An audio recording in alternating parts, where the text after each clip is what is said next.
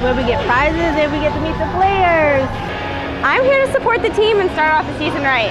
Tonight, you'll get your first chance to meet your 2010, 2011 men's and women's basketball teams, complete with player and coach introduction, skits, skills competitions, and scrimmages.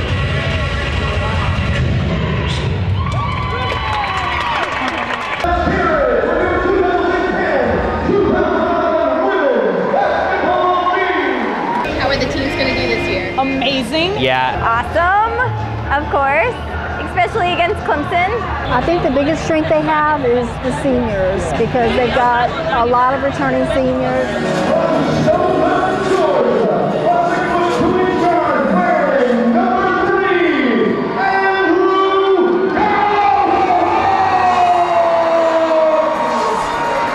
We look forward to coming and playing this building.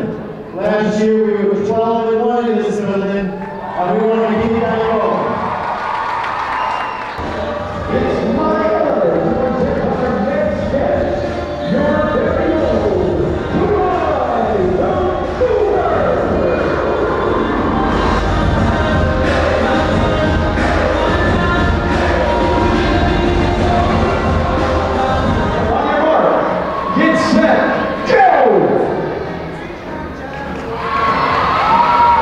Oh, she's running!